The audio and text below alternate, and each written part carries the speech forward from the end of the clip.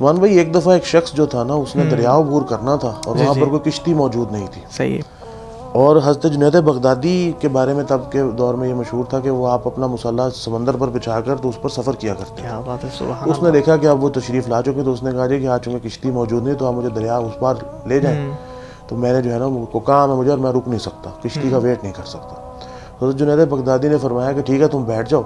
लेकिन तुमने जो है ना वो या जुनेद या जुनेद का विरद करते जाओ। हम्म, तो वो कहता जी ठीक है। जब वो और ख़ुद हज़रत जुनेद बगदादी जब स्टार्ट हुआ ये सफ़र ये वॉयज जो उसको कहते हैं समुद्री सफ़र या बहरी सफ़र कहा जाता है तो आप या अल्लाह का विरद करने लग गए। जी जी। वो दरिया के दरमियान के करीब पहुँच कर तो उसने कहा जी कि खुद ये या अल्लाह कह रहे हैं मुझे या जुनेद पर लगा दिया तो वो भी या अल्लाह कहना शुरू हुआ वो उठा उठ कर पानी के अंदर गया बेहोश।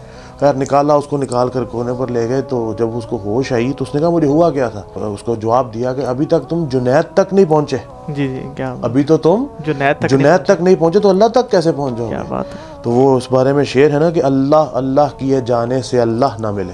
क्या बात अल्लाह अल्लाह किए जाने से अल्लाह ना मिले। अल्लाह ना मिले।